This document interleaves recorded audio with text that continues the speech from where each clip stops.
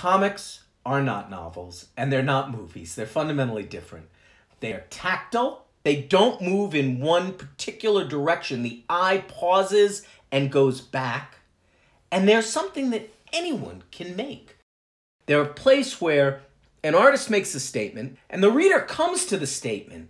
And there's this place, and it's called the page.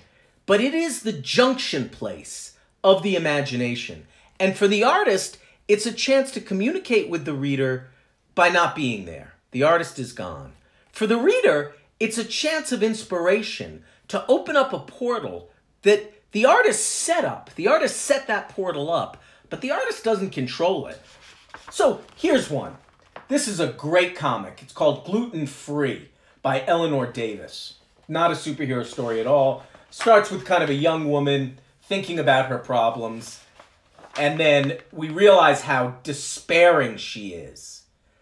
And then the next page, she's thinking about it more, and then she discovers it's all gluten. She really doesn't have any problems. Her whole life can be solved by Udi's bread.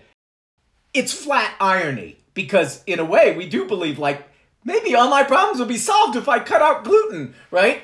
In a way, we get to the end, we follow along, and we're like, oh, okay.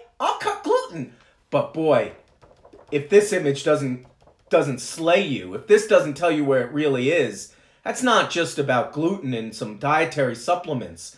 That is the horror, the pain of where we are in the world right now. So I'm arguing that it's not linear, right?